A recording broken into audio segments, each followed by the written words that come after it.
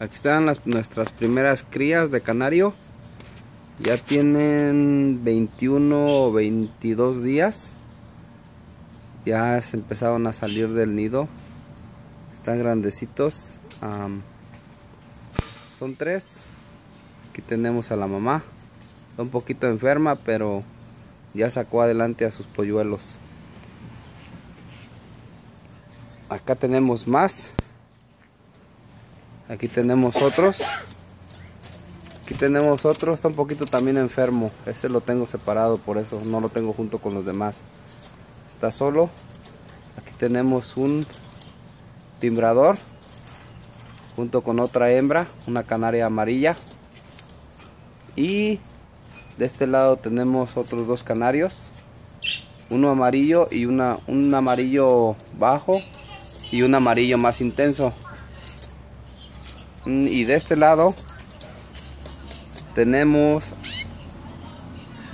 una canaria esa como anaranjadita esa que voló es hembra.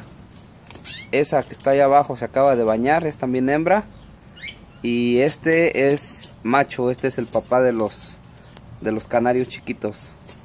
Lo tengo con dos hembras. Ya estas dos hembras ya van a estar a punto de entrar en celo para que el canario las pise y a ver qué tal qué tal este salen criando polluelos ellas dos.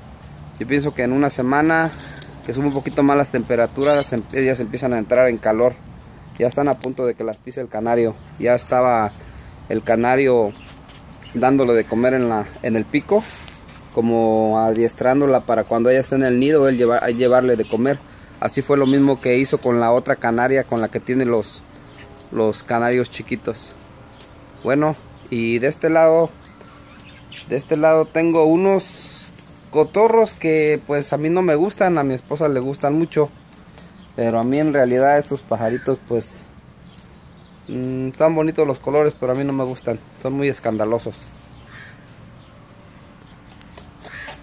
Bueno esos son los pájaros que tenemos son mis canarios y les presento aquí a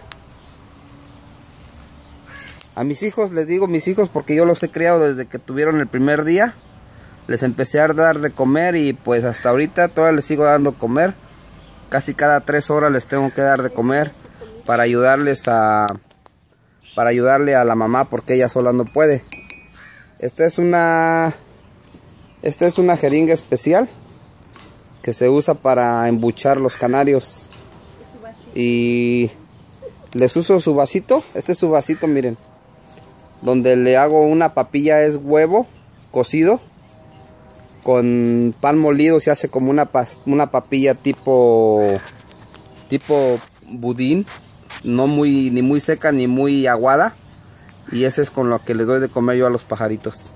Bueno esta es a mis canarios. Dios los bendiga. Hasta luego